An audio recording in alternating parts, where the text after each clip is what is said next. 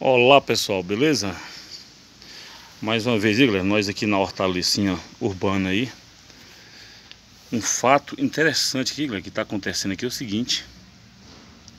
Você pode observar, ó, que aqui, ó Tô deixando a desejar aí Esse aqui foi um canteirozinho de rúcula que eu fiz, galera Tem umas sobressaindo, né? Isso aqui é rúcula, isso aqui não é. Que tudo foi sameado.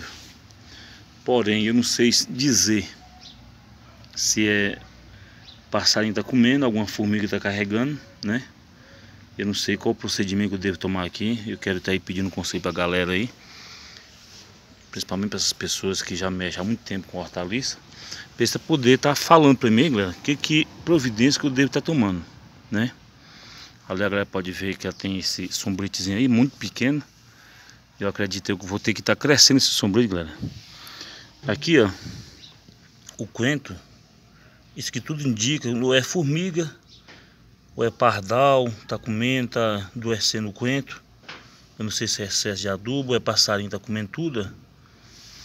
Tá difícil ter de fazer o manuseio aqui da hortaliça nesse sentido. Aqui na cidade aqui, o que mais tem aqui é passarinho aí, ó. Não sei se é passarinho, tá vendo as pontinhas? Só que aqui eu, eu percebo que tem um fluxo de passarinho muito grande na parte da tarde, né? E vem acontecendo esses fatos aí. Aqui é um pezinho de abóbora menina. Não onde, galera? Aqui ela... Desse pezinho de abóbora aqui já tem tirado aí bastante abóbora já, né? Ô parceiro, joia? Aí, ó. Isso aqui chama abóbora menina. E vocês só, só, só no golo aí? Aqui, Lila, esse, esse, esse pé de abóbora aqui, Lila, esse aqui, ó, com 45 dias, você já planta ele, já nasce dando, ele já, na, ele, ele já nasce com, já nasce só as florzinhas com, com a sementinha pequenininha, tá vendo? Esse aqui tem 20 e poucos dias que eu plantei.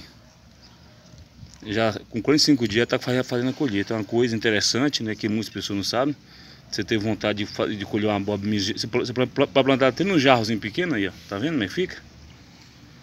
Fica da hora. E aqui os pezinhos de pimentão na cidade é uma terapia, moço, pra gente que mora aqui na rua. Tá começando a nascer já, tá vendo? Sinalizei aí. Mas passarinho aqui, ele tá levando, tá levando a eite aí, moça, a abóbora aí. Galera, aí meus amigos aí, ó. Então mais vou finalizar por, por agora, galera. Até o próximo vídeo, se Deus, se Deus quiser. Quem gostou, como lá dizem meus companheiros, deixa os likes nervosos, né? Segue o canal.